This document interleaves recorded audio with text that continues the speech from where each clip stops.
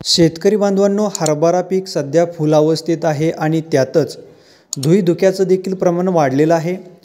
मित्रांनो धुईधुक्यामुळे आपल्या हरभरा पिकाच्या फुलावस्थेत मोठ्या प्रमाणात फुलगळ होते.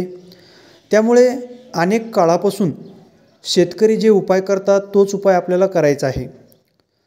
मित्रांनो जर तुमच्या परिसरामध्ये खूप मोठ्या प्रमाणात धुई पडत असेल तर अशा परिस्थितीमध्ये तुम्ही साधारण साडेपाच ते सहाच्या दरम्यान जर तुम्हाला शक्य असेल तर तुम्हाला तुमच्या शेतामध्ये एक साधारण तीन चार ठिकाणी जाळ करून त्यावर ओल्लं गवत टाकून तुम्हाला धुपण करायचं आहे.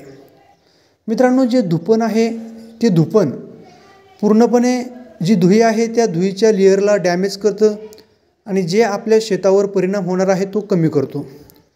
त्यामुळे शक्यतो हा देशी उपाय तुम्ही करू शकता. त्याचबरोबर ज्या शेतकरी बांधवांनी फवारणी केली नसेल असे शेतकरी बांधवांनी धुई धुक्यापासून आपल्या हरभरा पिकावर येणारा जे काही रोग आहे त्या रोगाचं व्यवस्थापन करण्यासाठी बुरशीनाशकाचा देखील वापर करणं गरजेचं आहे.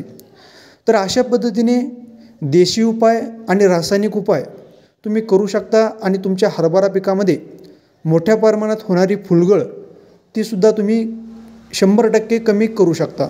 धन्यवाद.